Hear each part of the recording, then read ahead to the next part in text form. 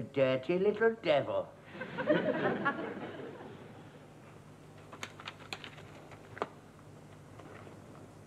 What's this? A jo- I didn't know he kept a diary. What's he do worth writing about? Locked. Secretive little sod.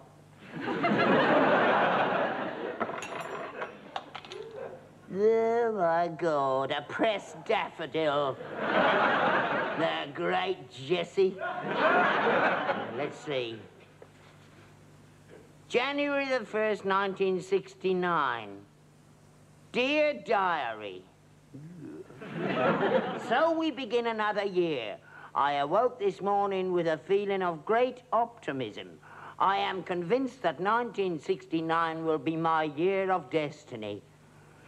Something is going to happen to me this year. I, January 2nd.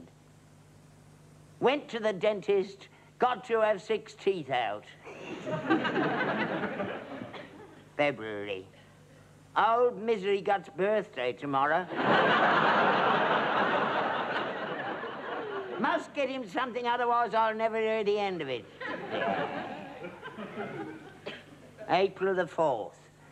The sun is shining outside, but it is dull in comparison to the sunshine in my heart.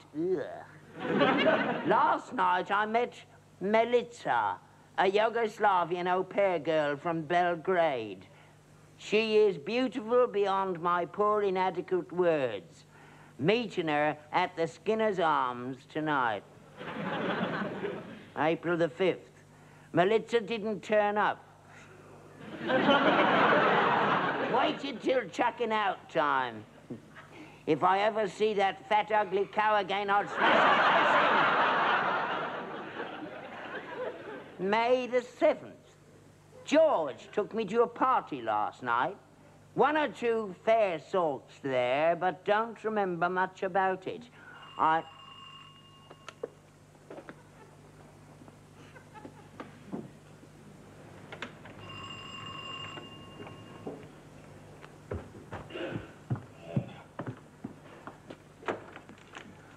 Good evening.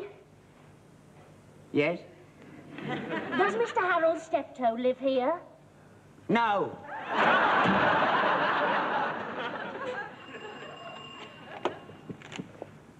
Look there. You've made a mistake. Well, this was the address I was given, and I checked it on the electoral register. Oh. Well, he's not in. Oh, when are you expecting him in? I don't know. I don't see him very often. Oh, I wanted to talk to him. It's very important. I'm afraid I can't help you. Last time I saw him, he was talking about going to Australia. He may be there by now, for all I know. Oh. Oh. Oh, oh, don't cry. Uh, here, you better come inside. Oh, I've been looking for him for months. About eight, by the look of things.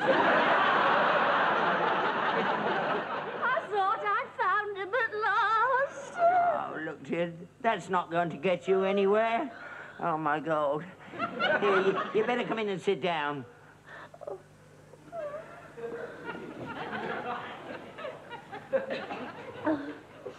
Yeah, I hope you so. Your name isn't Melitza, is it? No, it's Daphne. Daphne Tomlin. Well, look, Mrs. Tomlin. Miss Tomlin. Oh, my God. As I said, I don't know where he is. Uh, what do you want to see him about? Well, I wanted to see him about this. What's he got to do with that? He's the father.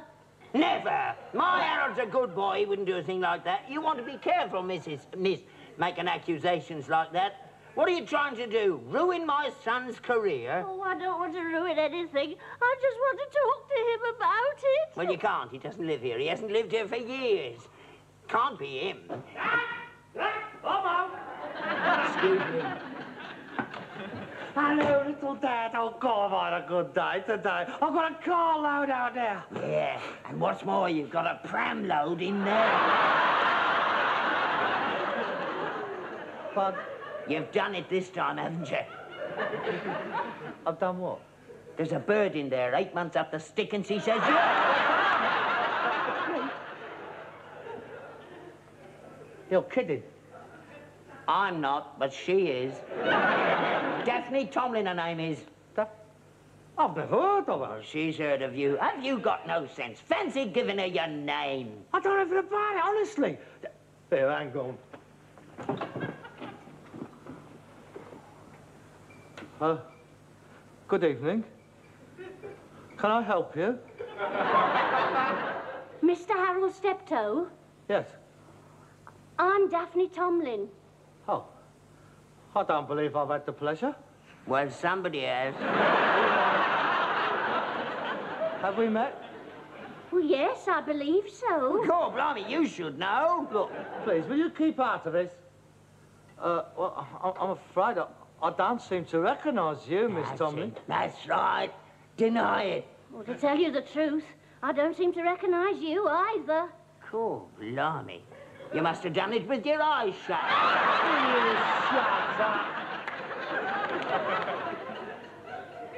Are you sure you've got the right person? I think so. I believe we met at a party at Hilary Philpotts last May. Hilary? Oh, I don't seem to recall a girl named Hilary. It's a man. Oh. I don't seem to recall a man named Hillary either. I certainly would have remembered that name. We ain't got many Hillarys in the circles are moving. Well, that's just it. Apparently somebody brought you to the party and nobody else knew you. That's why it's taken so long to find you. It seems that sometime during the evening, you and I met. Met. I'm afraid I don't remember very much about it. I think I must have had too much to drink. Yeah, that's what they all say. Would you like to go and make a cup of tea or something? Uh, please, sit down, uh, Daphne. Daphne. Well, look, we'll soon sort this out. Uh, please, don't try to think I'm trying to get out of anything. But uh, if you don't remember me, and I don't remember you, how can you be sure that we actually... Somebody saw us go into the bedroom. Oh, that don't prove nothing, of course. I, mean, I could have looked for your coat or hat or something. Oh, perhaps that's why we went in. But I don't think it's what we did while we were in there. we didn't come out for over an hour. Everybody wanted to go home and they had to climb through the window to get their coats. And they saw us. Do you remember going to a party last May? May. May? Have a look at your diary. What diary? I said, what diary? I don't know. I- I'll go and get the tea. What do you know about my diary? You've been snooping around my bedroom again, haven't you? No, I haven't. No, you're urging me. Where is it? Now, where is it? I don't know. I don't know. Hands on the table. you lousy little bleeder. There's nothing private in this house. A monkey in a zoo gets more privacy than I do. Well, I'll keep you a moment. you forced it open. You have been reading it. I haven't. I haven't. You have. You have. I don't want to cause any trouble. Oh, don't worry. we want to find out the truth, don't we? May the 7th. I'll attend to you after.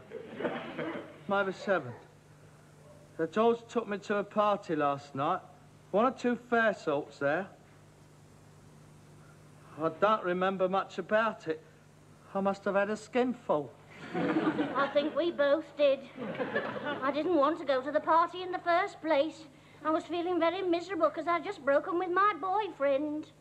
Oh, perhaps he's the one who... No, No. no.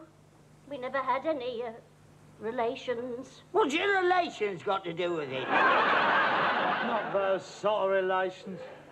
She means that they never had any carnal knowledge of each other. Oh, blimey, no wonder he left her. Oh, it's disgusting. You've got a mind like a cesspit, you have. go on, make the tea, go on. Miss Tomlin and I have got something to discuss. Go on. Well, don't commit yourself. See a lawyer first. I must apologise for my father. He is very uncouth. Oh, that's all right, I understand. He's only trying to protect you. Should have heard what my family said. Well, you've got a family? Yes, Any brothers? two, six and seven. Feet? No. that's how old they are. Look, Miss Tomlin, although I do not recall the episode on the night in question, it did obviously take place. I would like to apologise for the condition you now find yourself in. Well, I'm just as much to blame as you. I needn't have to tell you that had I been sober, this would never have happened. Oh, I see. Oh, please, don't misunderstand me. I mean, I'm not trying to imply that I, I don't find you attractive, because I do. You're, you're very attractive. The thing now is, what are we going to do about it? That depends on you, Mr. Steptoe. What do you want to do about it? Well, naturally, though, this has come as a great shock to me. I'm fully prepared to face up to my responsibilities. That's very honourable. Most men would try and get out of it. I'm not that sort of person. I must have had my fun, now I've got to pay for it. I don't want you to think I'm trying to blackmail you into anything, Mr. Steptoe. I would like my baby to have a name, but I certainly don't expect you to marry me just because of that. Oh, I'm sure you don't. Well, it's hardly a good basis for marriage, is it? Oh, of course, if you don't want to marry me, I'll fully understand. I didn't say that. No, I mean, having seen me sober, well, seen me, both of us, knowing what I do for a living, you might not want to marry me. Nobody else has up till now. Well, no, I ain't got much to offer. It would mean living here, but old face ache. Well, perhaps it would be better if I was just to cough up a few quid for the sprog and we forgot all about it. Mr. Steptoe, I came here not knowing what to expect. I didn't know who you were or anything about you. And I find that you're a very kind and considerate person. And I think a girl could do a lot worse than marry someone like you. You mean that? I do. All right, then. You're on. Only if you're sure. I'm sure. Only we're not in love, are we? Well, I don't think that matters. I mean, we're too old for that. Well, I am. Well, I think you ought to know. I'm 28. Oh, that is a lovely age for a woman. I'm 35. No, I'm not. I'm 39. well, that's not very old. It is when you're 39. Oh, I prefer mature men. I always have. Oh, well, I mean, I've knocked about a bit. I can't deny that. I mean, uh, if I was to die tomorrow, I can't complain. I've had my share. that, is... I, I, I'm... Well, that is settled, then? Yes. I suppose we'd better do it as quickly as possible. Well, yes, I think so. Where? Oh, I don't think we should have a white wedding, do you? How does Paddington Registry Office grab you? All right, then. Monday? Mm-hmm. Well, I'll get the licence. I'll put your name down for the hospital as well. I'll get a wedding ring. We'll have to get engaged afterwards because I'm a bit Boracic lint at the moment. You are sure, Mr. Steptoe? How? Harold. Yeah. I'm sure. Definitely.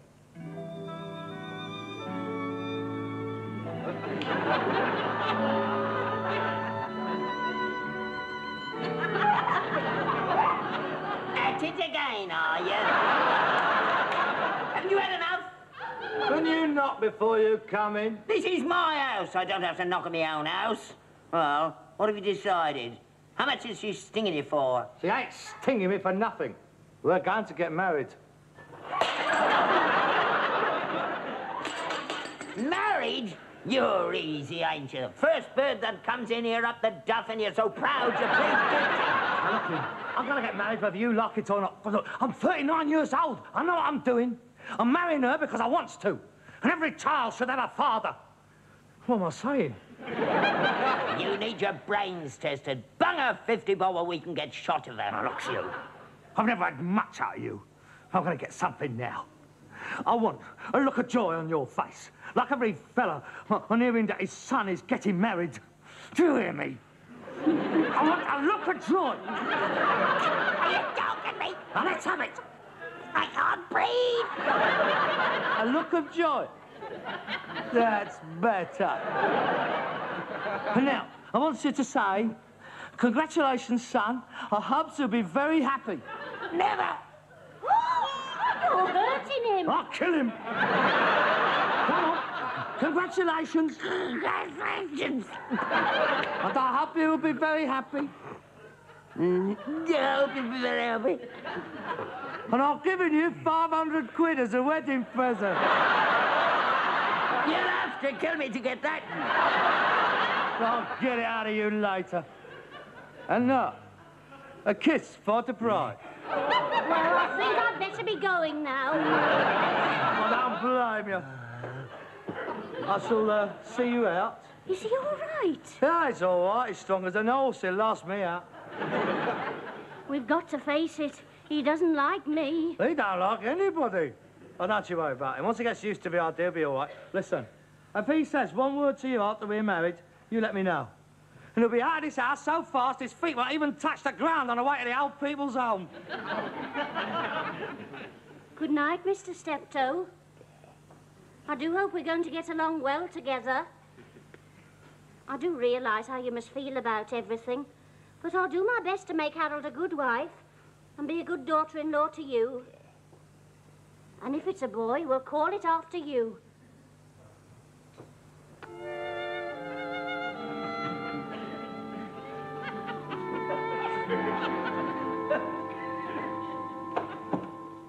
I'll uh, run you home on horse and cart if you like. Uh, The only thing is it might jolt you up a bit. That's the only Oh, thing. that's all right. I'll get a taxi. Oh, well, uh, here, uh, here's a quid. That, that should be enough.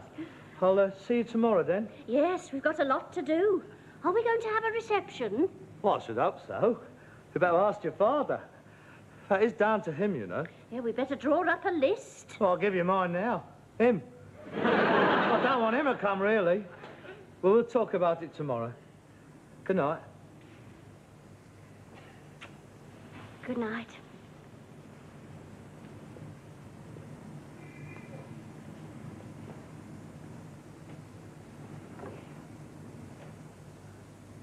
I've got to be a father. I wonder if I enjoyed it.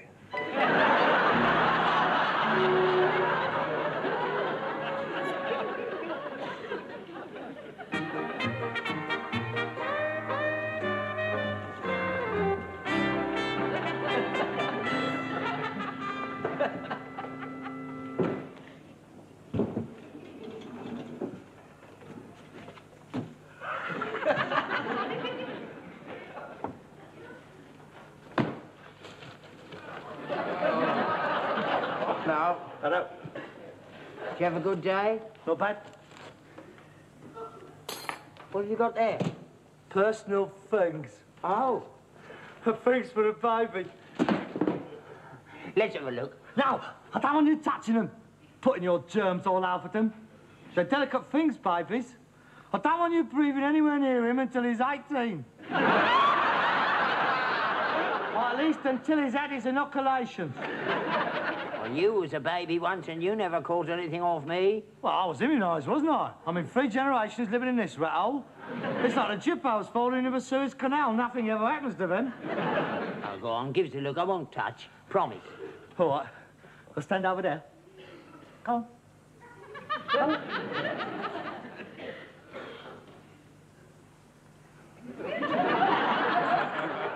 Oh, they're nice.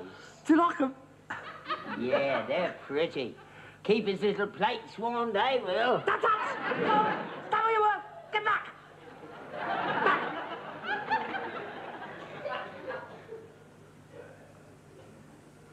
Ah, ah, that's nice. Bit small, though, ain't it? Well, I can't say small, it's for babies, not for Harry Secombe. The steptoes was always big babies. You was ten and a half pounds, nearly as big as I was. Oh, I knew you'd have to be bigger than me. Well, I was eleven and a pound two. Oh, well, you ain't grown much, have you? How much did that lot set you back? With a pound 25 quid. You must be crackers. I kitted you out for seven and a tanner. I'm sure you did. The next time in battle, dressed in a pair of boots, I suppose. or was that sandbag with two holes cut in for my little legs? That's all good gear. I got it on the round from a titled lady in Wilton Crescent. You look like little Lord Fauntleroy, you did. Oh, I remember. It was great for round here, wasn't it? I got duffed up every time I went out. I never even had to buy as much as a handkerchief until you were 16. Well, I never had a handkerchief until I was 16. You're wasting good money. You could have got all his stuff off the cart and washed. You can't tell it from you. oh, my son ain't gonna wear other people's cast-offs. He ain't gonna be brought up like I was. My son is not gonna waste his life sitting around on a north in a cart. It could be a girl. Oh, no. Oh, no, I can't have a girl. No, I don't want a girl, no. That's not the boy. No, I'm not having a girl. You don't have much choice, do you? You put your penny in, pulls the handle, and takes your chance on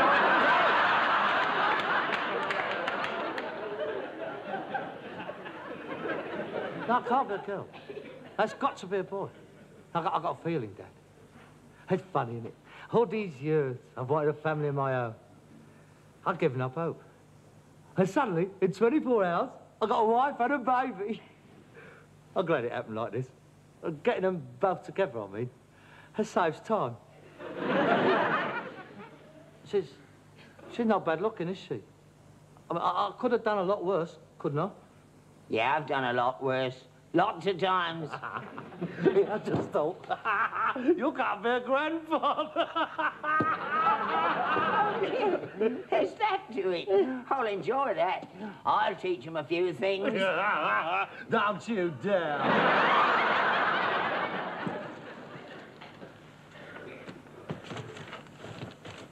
Harold, I'm not very good at this sort of thing, but I know we've had our ups and downs. But I want you to know that if this is what you want, I'm happy for you. I thank you, Dad. I know I'm a bit of an old twit, but I'm not a bad judge of character. And I think she's going to be all right. Yes, I think so too. And Harold, I'm going to give you that 500 quid as a wedding present. Oh, no, I was only joking. Oh, I had you by the throat, didn't I? Ah. I want you to have it. So that's where you keep it. I've been looking for that for 20 years. Here you are. I don't what to say, Dad. No, don't say anything. Just take it before I change my mind. Thank you, Dad. That's all right, son. Good to see you so happy. That'll be Daphne now. Hello, love. Come in. How's it all going then? All right, is it? Hello, Harold. George! What were you doing now? I thought you were supposed to be in Hong Kong. I Kong. got back the day before yesterday, didn't I? Here, brought out for you. Oh, oh, oh, great, isn't that great? That's the first one I've ever seen outside of a tin. come in, come in, come in. Here we go. Hello, Mr. Steptoe. Hello, George. Hey, I'm that cop, the first wedding present. oh, look, George, let me introduce you. This is Daphne. Uh, yeah, we have already met. Oh, well, then, you know all about us then, eh? Oh, yeah, yeah, yeah. Well, uh, that's why I'm here, really. Uh, the point is, Harold, I, uh, I heard about Daphne and a wedding yesterday, and uh, I can't let you do it. What do you mean? You can't let me do it? What's got to do with you? Well, you remember it was me who took you to that party? Yeah? Well, it was me as did everything else as well. What, what do you mean? It's true, Harold. It wasn't you, it was me. I can't be you. It was me they saw on the bed. Oh, yeah, yeah, he was on the bed, all right. Spark out all evening. What I didn't see was me under the bed I died under when they come through the window. I- Is this true, Daphne? Was it him? I don't know. I think it must have been. Otherwise, how would he know about my mole? What mole? Well, there you are, you see. You don't even know where it is. Well, the point is, Harold, as soon as I heard that Daphne was in the club, well, I couldn't let you take the blame, could I? So I went along to see her. Well, to cut the long story short, we are getting married. No, no, no, no, she, she's got to marry me. Look, I, I, I don't mind about the baby. I'll, I'll, I'll bring it up like it was my own. It don't matter. Daphne? I'm sorry, Harold, but I think it would be better if I married the real father. But I've just told you, I, don't mind. It don't matter. For the baby's sake, Harold. But I'd love it like it was my own. It, it, it don't make no difference. But supposing he finds out when he's older that I could have married his father and I didn't, he might grow up to hate you. To hate me? It must be better for him to have his real mum and dad. You do see that, don't you?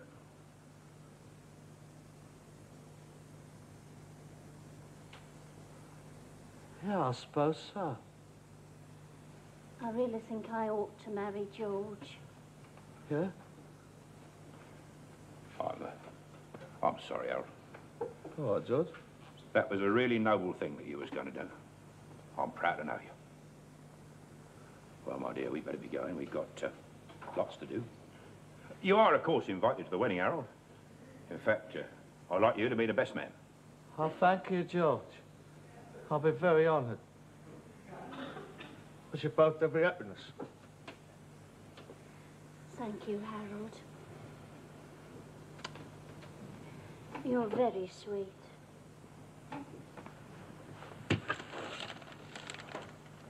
Come along, my dear.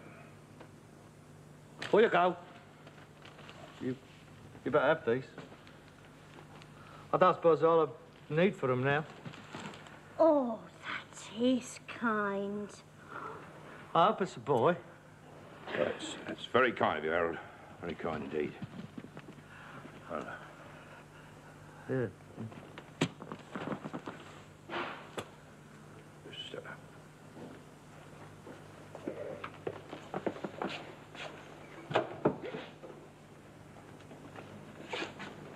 Give you a ring tomorrow, Harold, and let you know what the arrangements are.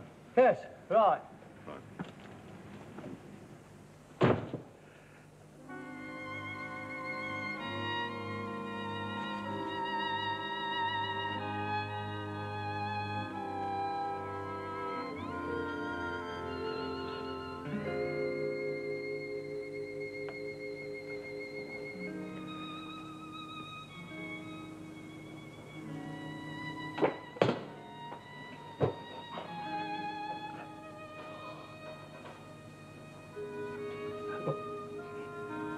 A narrow escape, wasn't it? You nearly got lumbered there. Yes, I did. Didn't I? You're better off out of it. I suppose so. course you are. Can you imagine it? All them nappies hanging all around the place. Yeah. Bleeding kid roaring its thighs out all night long. Yeah.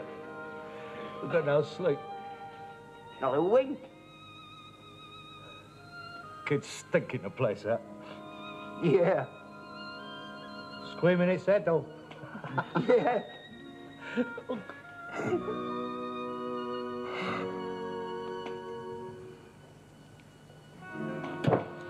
I'm going out to get drunk. Harold, can I come with you?